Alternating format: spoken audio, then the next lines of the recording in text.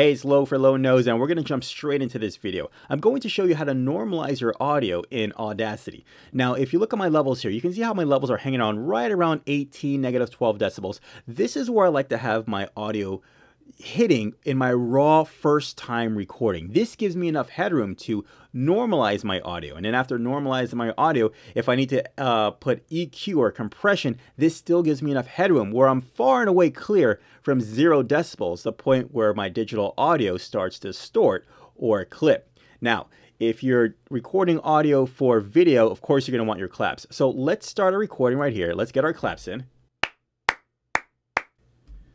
All right, and then we'll give a couple lines of dialogue like I'm doing right now.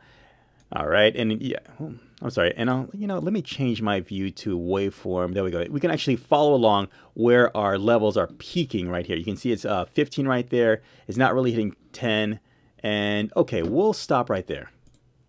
Okay, so here's our waveform. Let's take a listen. Right here, let's get our claps in. Okay, let's Let's do that again. Right here, let's get our claps in. All right, and then a couple lines of dialogue like I'm doing right now.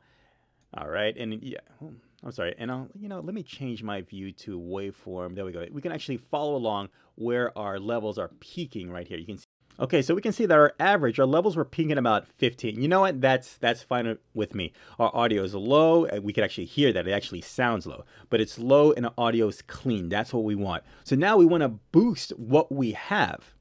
Okay, but first I want to show you something before we get to boosting. Here, do you see this right here? These are our claps, the claps that we made so we can actually make those markers when syncing up our audio to our video.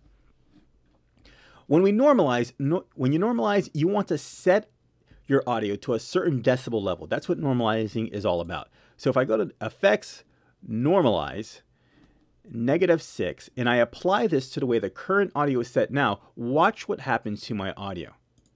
My audio shrinks. Why? Well, because I had it set to where I want that my peaks of my audio to hit negative six decibels. My current claps were, hit, were hitting well above negative six decibels, and they're actually hitting zero, maybe past that. So when, when we set those parameters for the negative six decibels, the normalization actually said, hold on a second, our peaks are higher than zero. Let's bring everything down to six. And of course, it doesn't just mess with the peaks, it, it messes with the entire waveform. So everything goes down until the peaks are six and everything go, goes down in relationship to that. Okay, so let's undo that. And how do we get around that in Audacity? Well, we're going to take our audio separately. We'll highlight our audio separate from our claps, go back to effects, normalize, negative 6 decibels, and boom, our audio increases. We'll go ahead and do that for beginning. Effects, normalize, negative 6, boom. All right, so let's take a listen now.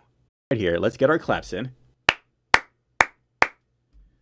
All right, and then a couple lines of dialogue like I'm doing right now.